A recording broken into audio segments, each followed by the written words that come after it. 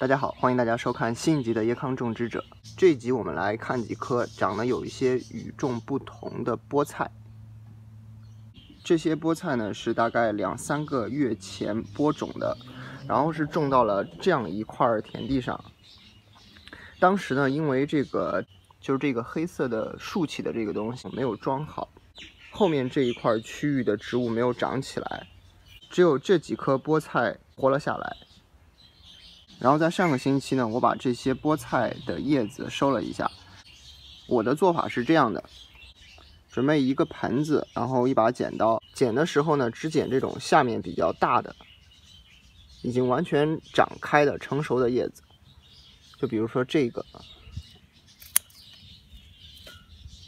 像这个也是已经长得很大了。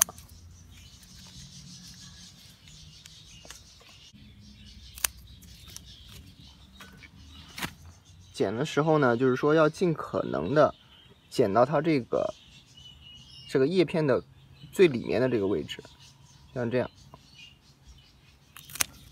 这颗就比较明显了，从这里剪。看这下面有很多成熟的、肥大的、美味的叶子。然后你剪的时候呢，不要贪多，每次。最多最多不要剪整个植物叶片量的三分之一。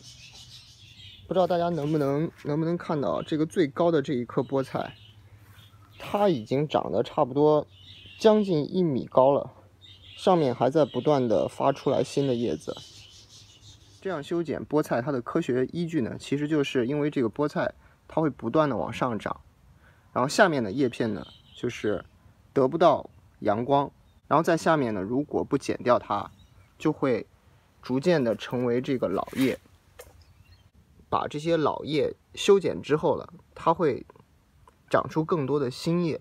我拿这一颗给大家看，看这这一颗菠菜它是这样的，然后这一片叶子现在这里长得很大了，然后我把它剪掉，它在这个分叉的地方。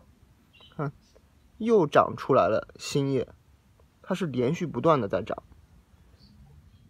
把这些老叶剪掉之后呢，新叶能够获得更多的营养，然后呢就能获得更多更新鲜的叶片。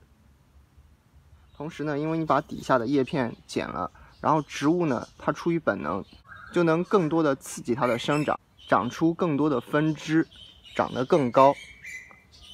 像这一棵。大家可以看到很多很多的分支，然后这一些呢是种子，你可以选择把它留下，然后也可以把它打掉。我呢，因为这一块地还有很多的空间，可以把这些种子呢适量的留下，然后作为下一批的播种使用。当然，如果你不想留种子，只让它更多的长叶子的话，那么就把这些种子打掉。因为这一批的菠菜呢，它是基本上是随机长出来的，没有对它的位置进行设定。我建议大家在自己种植的时候呢，是至少每隔二十厘米播种一颗，不要种的太密。因为大家可以看到，按照这个方法来种植，我们所获得的菠菜呢，跟超市里面买的菠菜是完全不一样的。超市里面呢，就一小把有几片叶子，但是这种呢，是可以不断的生长，不断的采收。